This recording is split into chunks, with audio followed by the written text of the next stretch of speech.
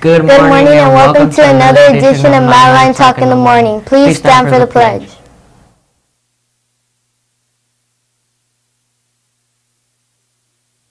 Ready, begin. I pledge allegiance to the flag of the United States of America and to the republic for which it stands, one nation, under God, indivisible, with liberty and justice for all.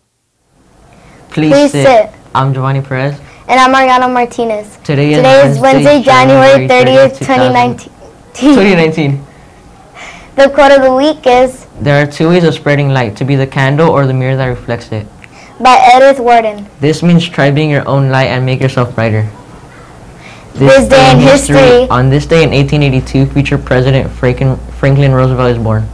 FDR grew up the only child in an upper middle class family in New York. He graduated from Harvard in 1904 and later received a degree from Columbia Law School.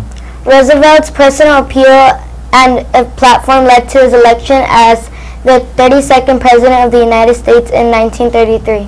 Reindeer relay is tomorrow on January 31st. Remember to report to the PE number at 845 if you signed up for the race. The snowball dance is on Friday from 3.30 to 5. Your first period teacher should give you a link to vote for the Snow King, Queen, and Princess and Prince. Come see who's crowned at MLMS Snowball King, Queen, Prince, and Princess 2019. Yearbooks are on sale this week before school at the ticket window for $40 cash. This will be the last chance to get a guaranteed yearbook. Otherwise, it will be first come, first serve at the end of the year to purchase a yearbook.